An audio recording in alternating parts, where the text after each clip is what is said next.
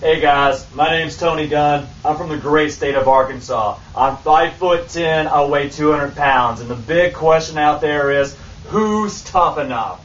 Well, let me tell you the reason why I'm. tough. Tony! What are you doing in there? Mom, I'm shooting a video for WWE Tough Enough. What do you want? Dinner's ready! Did. All right, Mom. I'll be down a little bit. Jeez.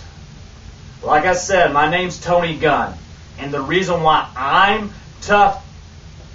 Hey, Mom, what's for dinner, by the way? Meatloaf! Meatloaf. Mom, we had meatloaf the other night. Come on. Yeah, too bad! God, Mom's meatloaf is tough.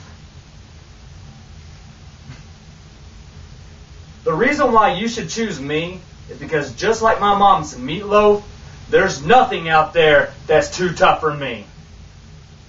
Yeah. Mom, I'm coming to dinner.